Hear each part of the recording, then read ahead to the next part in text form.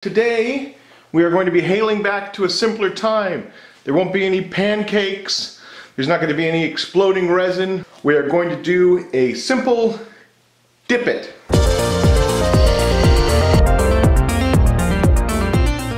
Those of you who have been with me for a while should remember this. We use this to make an Oreo cake stand and I also used it to make a giant magnifying glass. It is a silicone pizza pan Gonna give it a little hit of mold release and then we can put it to the side.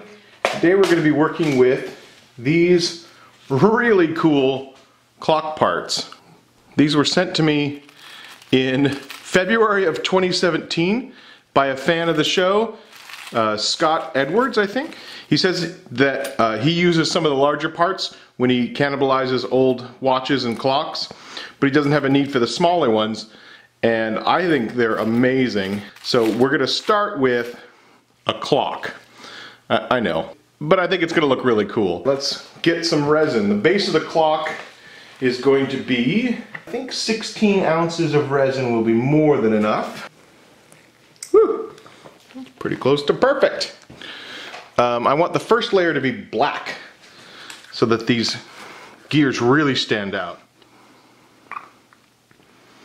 Love the way it looks. She bent down and turned around and gave me a wink. She said, I'm gonna mix it up right here in the sink. It smelled like turpentine and looked like Indian ink. I held my nose, I closed my eyes. I took a drink. Um, what I wanna do is I wanna try to get three pours out of this. I want a base pour, I wanna put on the gears, I want to do a second pour. Anyway, you'll see. I don't need to. I don't need to spell it all out right now. I don't even know why I'm doing that. Oh yeah, boom, boom, boom. Ah, chicka chicka.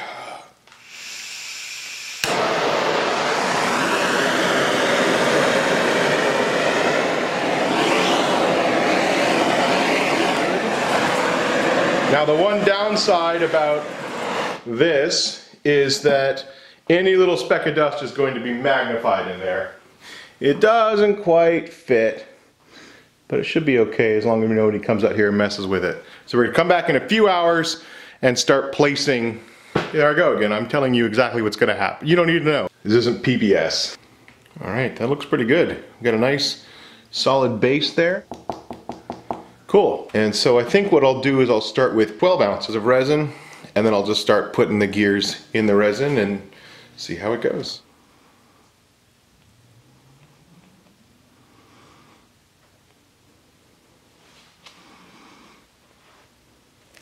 Actually, 12 seems like the right amount.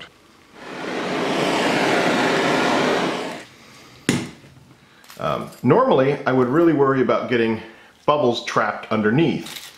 But since we've got a black base here, we're never going to see it, which is really nice.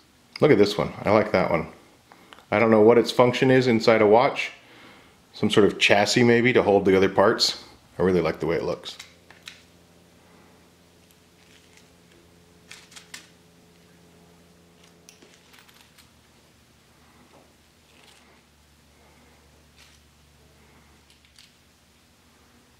Ooh, there's some super tiny ones. I love it.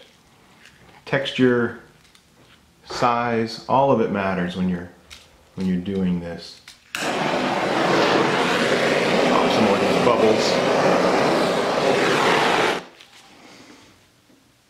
Came back out to just check on the surface and a lot of these have started floating. The lighter ones have floated up high and some of the heavier ones have sunk down to the bottom. And at first that made me super nervous, but the more I'm thinking about it, the more that's a good thing. I think it's gonna create a really 3D effect here. They started, oh. some pieces started floating and other pieces started sinking. I like that. It's fun though, right? Yeah, I like that a lot. I'm doing my best to like clutter it. I just want it like stuffed full of bits. But I like how it's different layers. Yeah, that wasn't intentional. No, but it's working. it's really cool. Every time I think I'm done, I find another spot that, that needs you want more. to put something in. The problem is the resin's getting really thick. So might stop. I might mess things up if I keep going. I need a frappuccino. All right, I'm all done. Let's go get something to drink. So it's had a time to cure. We're gonna do one more layer, and this layer is just going to be the top coat to completely seal all those pieces. And I'm going to be using 12 ounces of resin. Even adding another layer really gives it more depth. That's really striking. I, I hope that depth comes across on the camera. And I'll keep coming out every 20 minutes or so and hitting it with some more flame just sort of pop any bubbles as they rise to the surface. I have about 45 minutes until this resin begins to cure and probably 12 hours before it's completely hardened. Oh no. Oh no. Oh no. Oh no, it's sticking. Oh. Oh. Oh no. Oh no. That's not the plan. That's not even close to the plan. That's not even close to the plan. See how much destruction this causes. I.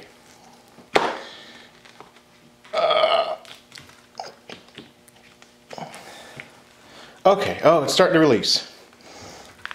Okay. Uh, it's not perfect. Oh my. I don't think we're going to use that pizza pan again. you know what it is? No. I bought this Yeah. pizza pan and I've never used it for pizza and this stupid thing just committed suicide right here in the shop. It's all, I'm a pizza pan, you lunatic! Stop pouring resin. Stop putting resin in me!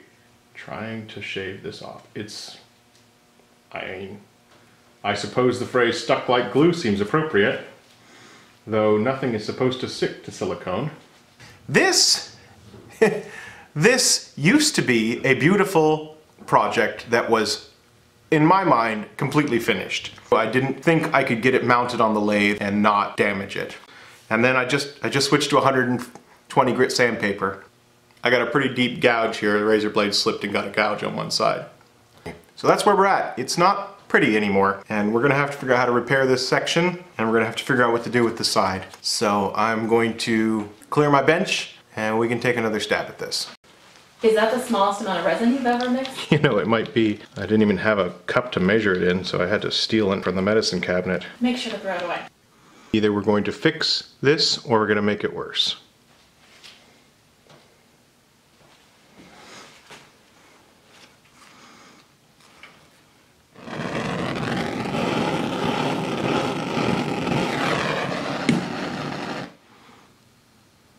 How many times do you look at the side of a clock? Uh, including this time? Yeah? One.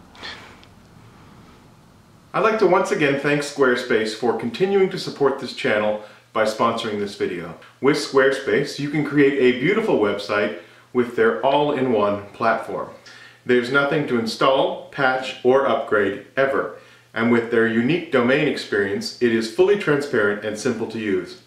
Squarespace is used by a wide range of creative people, including musicians, designers, artists, and more. Plus they offer award-winning 24 x 7 support should you run into any issues. Simply go to squarespace.com forward slash Peter Brown to get your free trial and 10% off your first purchase.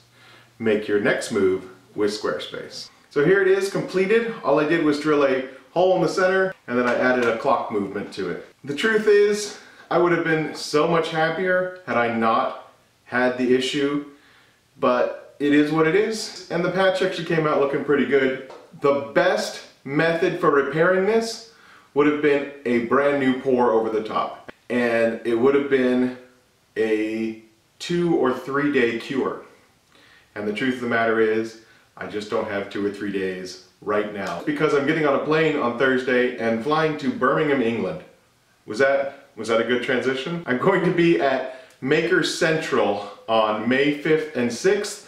Um, I'm going to be on a panel with a couple other makers doing a Q&A on Saturday, and I'm going to be giving a demo on Sunday.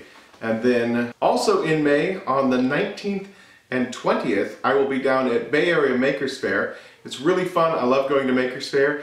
And this year, I've been invited to be on a panel. And so Steve Ramsey and I will actually be answering questions down there. Uh, and I think they're also going to have a Q&A portion. If you're coming down to Makers Faire, I'd love to meet you. So I'm going to put the information for Makers Central and for Makers Faire down in the description, both of those happening in May. May is going to be a busy month, so if you don't hear from me, just know I'll be back in June.